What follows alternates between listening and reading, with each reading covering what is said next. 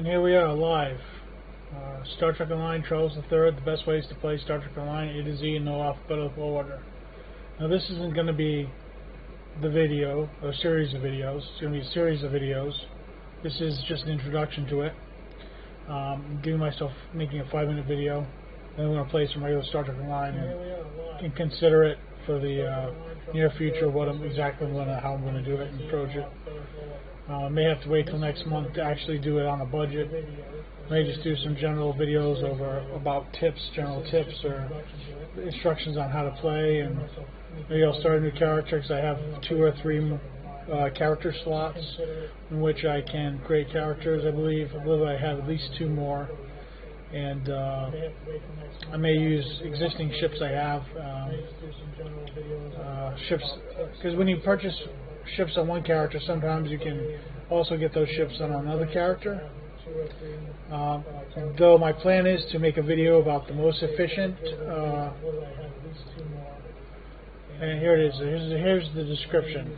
Uh, I will be making a series of videos on the best ways to play Star Trek Online, the most efficient path with the least amount of money, a medium budget of money to play, and one for someone who has currency and money sometime available.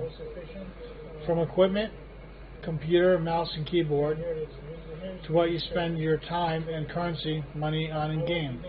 Then I will make a video on strategies of how to play and win, and when you do not win, to learn from mistakes and have good sportsmanship. Have little to no angry feelings about losses, about losing in the game.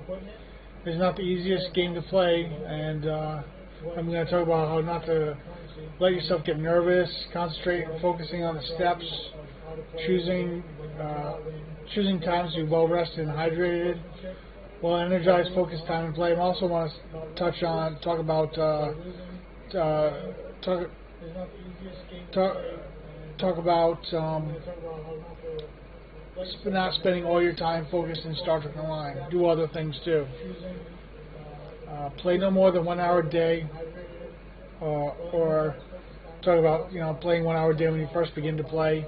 So because I when I first started to play, even though I was an experienced, kind of a somewhat experienced computer game player, I had difficulty. Um, I got very frustrated because I didn't have instructions on the exact instructions of what key functions to press and which mouse buttons to press, and there was no instructions online that I saw.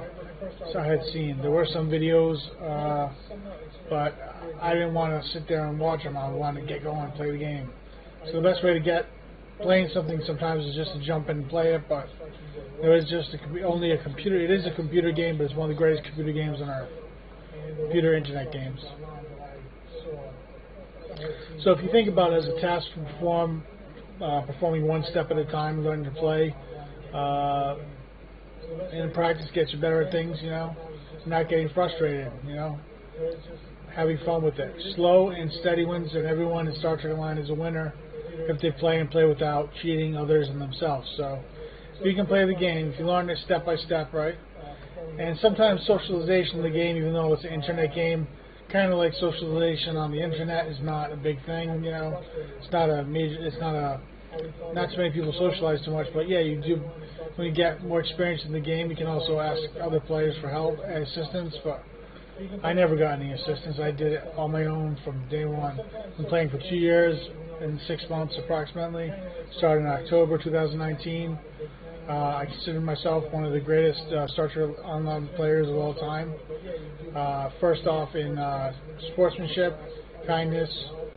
Second, well, first off, the greatest uh, uh, strategic uh, strategy strategist of the game. That's that's all. Not promising when videos will be. However, hopefully things go as planned.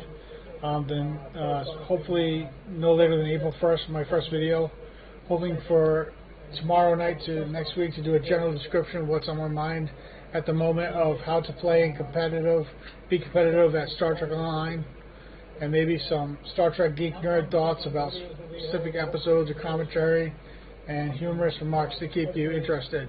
I